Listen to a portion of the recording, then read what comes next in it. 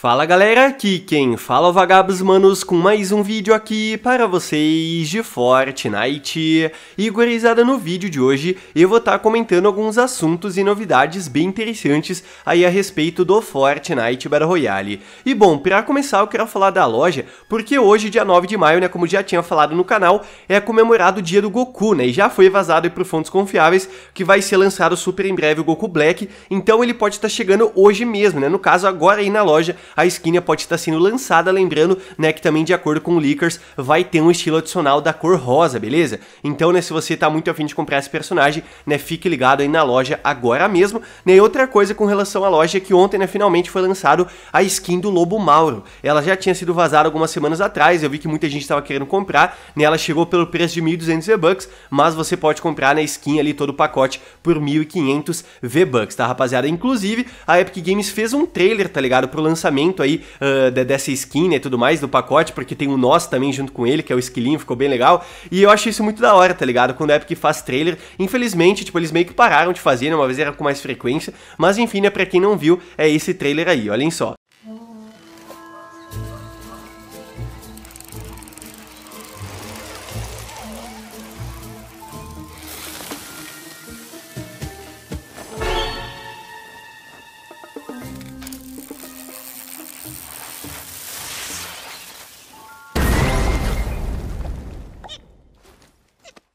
Na moral, eu gosto muito desse tipo de trailer porque além de bem feito, tipo, a gente meio que pega um carisma do personagem, tá ligado? Eu não sei vocês, mas eu fico com mais vontade de comprar a skin depois que eu vejo um trailer assim, né? Parece que eu acabo gostando mais do personagem, eu acho bem legal mesmo, né? Inclusive, se você quiser comprar o Lobo Maura, né? Ou a skin do Goku, se ela de fato chegar hoje, ou qualquer item na loja apoio no canal, eu ia ficar muito feliz mesmo se você utilizasse a tag Vagabito na opção de apoio no criador, ia dar, dando uma força gigante mesmo aqui pro conteúdo e agradecer de coração, tá? Inclusive, já é um aviso importante que eu vi muita gente me marcando usando o código Vagabs na loja, mas na verdade o código é Vagabito, tá? Infelizmente, né, tem alguém se passando por mim aí, né, acaba me prejudicando um pouco, né, mas enfim, né, o código é Vagabito, rapaziada. E ainda falando aqui sobre a skin do Lobo Mauro, uma coisa que eu quero mostrar pra vocês foi esse post aqui publicado no Reddit, em que o cara, né, escreveu o seguinte na legenda, skin antiga de lobo no Fortnite. Aí ele colocou Lupino e skin de lobo atual, né, colocou Lobo Mauro. Meio que ironizando, tá ligado? Tipo, ele não falou mais nada, mas deu a entender que ele tava ironizando, que tipo, as skins atuais do jogo, né? Tipo, no caso do Lobo Laro é muito mais, digamos que family friendly, tá ligado? Tipo, a skin ali do Lupino era muito mais, tipo, aquela parada do mal, assim, de lobo, né? Pra meter medo aí tudo. Só que, mano, pra mim não tem nada a ver, né? Eu dei uma olhada nos comentários, eu vi muita gente também comentando que, tipo, não tem problema nenhum, porque são skins diferentes até, porque uma é de fato um lobo, né? E a outra é um lobisomem, né? São diferentes, né? O lobisomem já tem mais aquela parada de ser do mal e tudo, então, né? O Lupino tem esse formato por causa disso, né? Skin do Lobo Mar é aquela parada um pouco mais carismática e tudo mais, realmente é aquele lobo mais bobão e tudo. E eu não vejo motivo, né, pra, tipo, a galera meio que ficar zoando ali. Pelo que eu vi nesse post foi meio que pra ironizar, né, que as skins atuais estão mais nessa pegada. Mas eu, sinceramente, acho né, que tem espaço para tudo. Tanto o Lupino como o Lobo Mal eu achei personagens bem legais, né, são, digamos que um pouquinho diferentes nesse sentido. Mas eu não vejo problema, tá ligado? Enfim, né, comenta aí também a sua opinião a respeito desse assunto. E olhem só, manos, agora mudando de assunto, eu quero falar sobre o modo em primeira pessoa. Teve um vazamento a respeito disso, né, interessante que o Licker Hypex compartilhou com a gente. Ele falou que o Fortnite né, está trabalhando numa troca de ombro, né, para o modo em primeira pessoa que vai chegar em breve. Ele falou, né, que pode chegar também para o modo de terceira pessoa, que é o modo normal do Fortnite basicamente,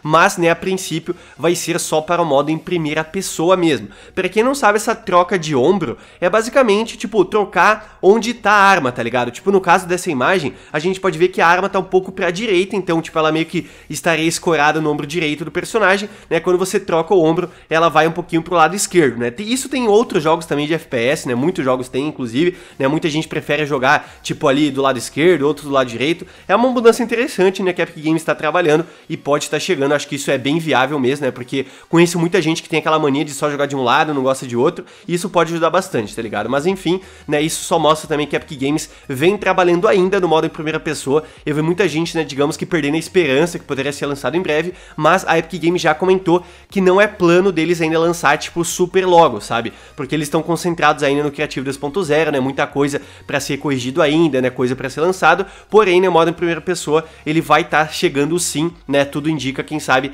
aí até o final do ano ainda. E tá aí, né, mais uma novidade que pode estar tá chegando, né, junto com esse modo. Comenta aí se você acha legal ou não. E adivinha, manos, eu quero falar agora, né, sobre uma curiosidade de data, né? Ontem eu falei para vocês que completou meia década aí, né, do lançamento lá do modo dos Vingadores, na né, primeira parceria que teve no jogo, e hoje completou 4 anos do lançamento da temporada 9 lá do capítulo 1 quem lembra da temporada. Então, né, se você não jogou lá na época dos Vingadores, você pode ter jogado na nona temporada, né, fique sabendo que hoje, né, completou 4 anos.